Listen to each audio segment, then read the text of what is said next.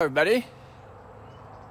We've been having some problems with roof rats and we wanted to make sure that uh, they were roof rats and not just the birds eating the fruit. Now when the birds eat the fruit, what they do, they'll take one of these oranges like this. I don't know if you can see that. But anyway, they'll take an orange and they'll peck into it and leave a round hole. But this is what happens when a rat eats an orange. It's a little bit different. Let me show you over here. I picked up some oranges and I put them over here. Now if you look at them,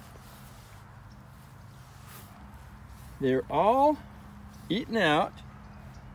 But look at this.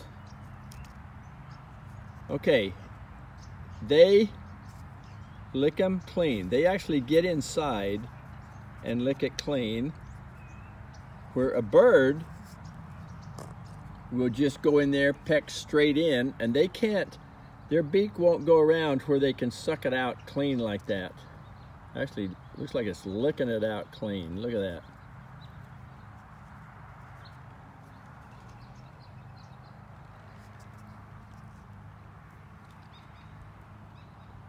And they eat them while they're on the tree, and then they end up falling when they completely die. Because here's the stem right here. And so they get the fruit, go into the side. Look at every one of them here. See, it's on the side like this, hanging like that.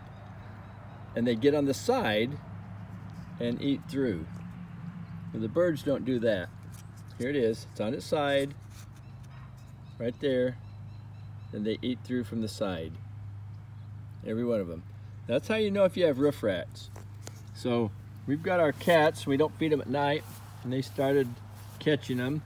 So I think that we'll be able to control that problem. But that's how you know if you have them, by just finding fruit either still hanging on the tree or fallen to the ground.